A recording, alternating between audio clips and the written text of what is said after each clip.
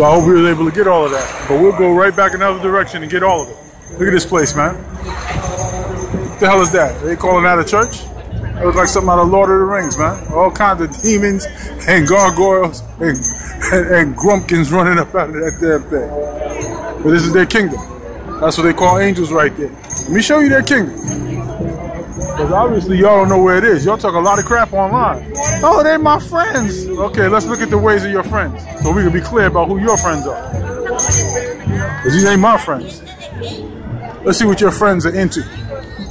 Israel. Okay, that's what your friends are into. Go tell your friends, bring your friends in front of this and tell them this is wickedness and see what they tell you. Since they're your friends. Okay?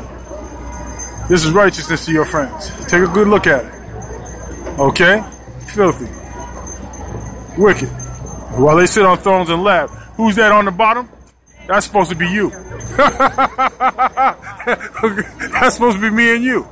And this is their God. What the hell is that? Hold on, listen to the truth. Because see, you ain't got to just, uh, you think it's in the book, and then when you walk away from the book, you don't have to keep the things in the book because life is different. No, it's all here. There's the high places, just like it said in the scripture. They worship at the top of the high places. What's at the bottom of it? That tree. The custom of the nations.